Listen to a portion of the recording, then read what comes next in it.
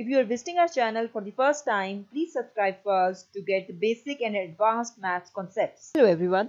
Today we are going to learn the different parts of hyperbola uh, as we have discussed in our previous lecture that what is hyperbola. Now you must know the different parts or the elements of of hyperbola in order to understand its properties. So the, uh, we have already drawn the hyperbola in the coordinate axis that is x and y axis with the center at 0 0. This hyperbola is basically a standard hyperbola. Why?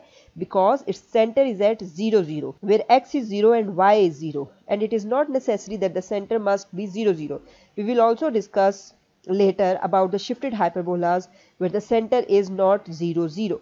So currently first of all the first part that we have seen here is the center of the hyperbola for the standard hyperbolas that is 0 0 so this is the center of the hyperbola where x is 0 and y is 0 of the standard hyperbola. The next part that, that we are going to discuss uh, are the vertices of the hyperbola. Now let's see where are the vertices of the hyperbola. As we have two curves so one vertex will be here and the other vertex will be here. And it is at a distance of a from the center. So we have two vertices. So let's label it as so we have two vertices. One vertex is uh, on the left side of the uh, uh, of the center and one vertex is on the right side of the center. Vertex is basically a point of the curve where a curve makes its sharpest turn. Or it is also the point where the curve of hyperbola cuts the transverse axis now what is the transverse axis? Let's see. So let's label the transverse axis as this. So this orange line indicates the transverse axis.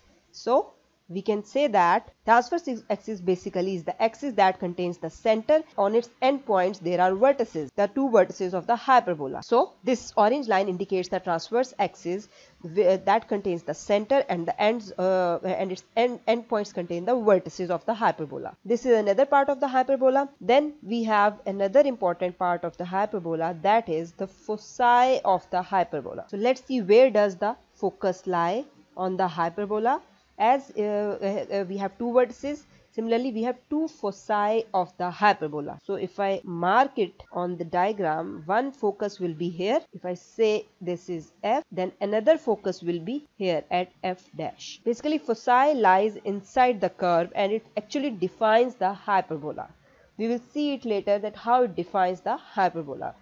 And let's label its distance from the center as it will be at a distance of C from the center in both sides. So these are the two foci of the hyperbola and it actually defines the hyperbola. Then we move towards the next part of the hyperbola that is the co-vertices of the hyperbola. Just like we have the vertex or ver two vertices, similarly we have the co-vertex of the hyperbola. Let's see where it lies. It lies actually on the conjugate axis. It does not lie on the uh, transverse axis. Uh, vertices and foci will lie on transverse axis and co-vertices will lie on the conjugate axis. We see it later what is the conjugate axis. Currently you just know, know where is the location of the co-vertices. So its distance will be b from the center. So these are the two co-vertices of the hyperbola.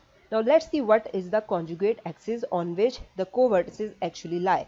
You can also say that uh, in uh, in other words that it lies on the minor axis and the major axis is the transverse axis and the minor axis is the conjugate axis. So let's see what is the conjugate axis. Conjugate axis is basically this axis whose endpoints are basically the co-vertices. So the conjugate axis is uh, labeled as so this is the conjugate axis of which endpoints are the co-vertices of the hyperbola or you can also say that in comparison to the previous uh, conics that it lies uh, it is basically the minor axis as compared to the transverse axis can be referred as major axis and the conjugate axis as minor axis. The next part of hyperbola that we are going to uh, see here are the asymptotes. Let's see what are the asymptotes and where they are in this diagram. These two oblique lines this one and this one are basically the asymptotes of the hyperbola.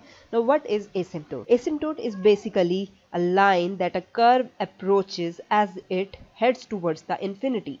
So in this case we have the two asymptotes and it has an equation. So whenever you have to find the asymptotes of hyperbola you have to follow that equation. Its equation is y is equals to plus minus b over ax. This is the equation of asymptote in case you have the hyperbola in standard form and it is in this uh, and its transverse axis is the x-axis. This and this equation will be different for the hyperbola that has the transverse axis on the y-axis. So we are just currently talking about the uh, hyperbola with the transverse axis and x-axis. How it is derived we will discuss it in the next lecture. This is an important part of the hyperbola. After this we will discuss another important part of the hyperbola that is directrices of the hyperbola. There, there are two directrices. One is called the directrix and the two are called the directrices let's see where it is one directrix is this and the other one is this so these are the two directrices of the hyperbola. Now these directrices have the uh, directrices have the equations and what is basically a directrix? It is used to define the hyperbola just like the focus and there are two directrices of hyperbola and it is always perpendicular to the transverse axis and its equation is x is equals to plus minus c over e square. E is basically the eccentricity of the hyperbola. So that the equation of directrix is this this is the equation of the directrix. In the case the transverse axis is x axis keep this in mind. I am talking about the transverse axis in the on the on the x axis. But when the transverse axis is y-axis it will be different. We will discuss it later now the last part that we are going to see here is the latus rectum of the hyperbola. If i draw it it will be like this. So this is called the this is called the latus rectum of the hyperbola. There are two latus rectum. As there are two foci so there will be two latus rectum of the hyperbola. Now what are latus rectum? Latus rectum is basically a line segment that is perpendicular to the transverse axis and it is uh, and it passes through the foci and its endpoints lies on the hyperbola. And it is keep this in mind it should be parallel to the directrix. So it is clear here that it is parallel to the directrix its endpoints lie on the hyperbola and it passes through the fork so latus rectum also have an equation so that you can easily find the length of the latus rectum that is equals to 2b square divided by a. So by using this equation you can find the easily the length of the latus rectum so that's all from today's lecture. Hope so it will help you a lot in the next few lectures when we will solve the problems related to hyperbola. Thank you for watching. If you like this video, please don't forget to subscribe our channel math.com for more updates. Thank you.